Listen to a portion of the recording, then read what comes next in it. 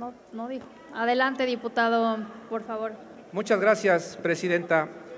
Permítame un segundo. ¿Con qué objeto, diputado Fernández Noroña? Bueno, la alusión, no le acepto su injuria, le pido que debata con altura y que use argumentos en la tribuna. Con- continuamos con la sesión. Adelante, diputado Fernando. Gracias. Perdón, el diputado Cruz Juvenal Roa.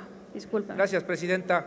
Yo quiero decir en primer lugar que nosotros no nos enojamos, que nosotros no nos duele nada, que venimos aquí con todo el derecho que tiene cada uno de los 500 diputados que integramos y conformamos esta legislatura.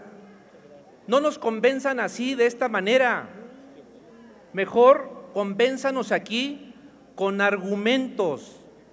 Y no voy a caer en la trampa del avión. Eso, eso lo está calificando la gente allá afuera.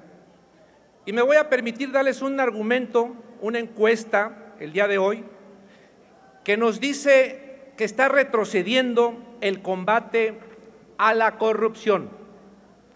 Hace un año, en el 2019, en esta fecha, la gente calificaba la forma de cómo gobierna AMLO y cómo está combatiendo la corrupción en un 70%. Hace un año, en estos días y en estos meses.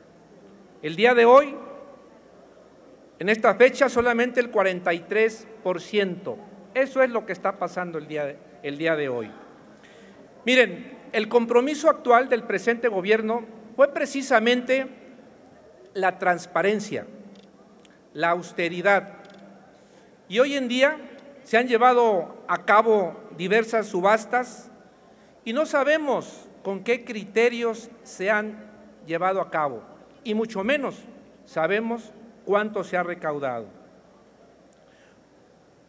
El dictamen que discutimos, que plantea reformar el artículo 132 de la Ley General de Bienes Nacionales y los artículos 31 y 38 de la Ley General para la Administración y Enajenación de Bienes del Sector, a fin de añadir el sorteo como un mecanismo para la enajenación de bienes que, por sus características o por las condiciones del mercado, no han podido ser enajenados a través de las formas de enajenación onerosas previstas en la legislación vigente. Se aduce que en la actualidad existe una gran dificultad para que la Federación enajene los bienes que han ingresado a su patrimonio y que por sus características especiales o condiciones generales no son susceptibles de ser aprovechados o utilizados por las dependencias y entidades de la Administración Pública Federal. Además, los bienes que se transfieren al Instituto para devolver al pueblo lo robado para su enajenación caracterizan por tener una diferente problemática jurídica y por su diversa naturaleza, situación que obliga a la utilización de diversas formas y procedimientos jurídicos para transmitir la propiedad de estos. De la misma manera, se aduce que los procedimientos de venta que existen en la legislación vigente tardan demasiado tiempo en ser desahogados y poseen algunas formalidades que retrasan el aprovechamiento de los recursos derivados para los procedimientos en venta. Contrario a lo que marca la ley de presupuesto y responsabilidad hacendaria, este gobierno ha impulsado diversas subastas de bienes públicos cuyos montos y destinos no se encuentran claros.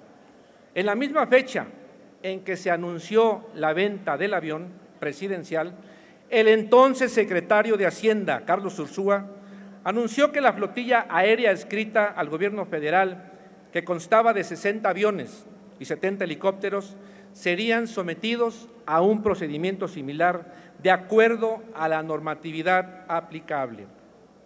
Recientemente, el presidente de México anunció que el gobierno federal pretende obtener ingresos por 1.500 millones de pesos, producto de los decomisos que realiza la Fiscalía en general de la República a quienes cometen el delito. Sin embargo, el presidente señaló que los recursos serán destinados al nuevo instituto para devolverle al pueblo lo robado. Fue enfático al decir que todo lo que se confisca la delincuencia y lo que se va a obtener por la corrupción, automóviles, ranchos, residencias, dinero en efectivo, todo se va a devolver a la gente. Compañeras y compañeros legisladores, el compromiso del actual gobierno fue la transparencia y la austeridad en el uso de los recursos públicos. Dicha transparencia también debe contemplar dar a conocer los criterios, los objetivos con los que serán utilizados dichos recursos.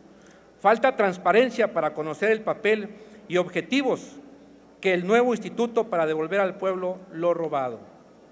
Es confusa la inscripción orgánica que tiene y, sobre todo, no se conocen los criterios y mecanismos institucionales que se están utilizando para repartir equitativamente los recursos públicos recuperados.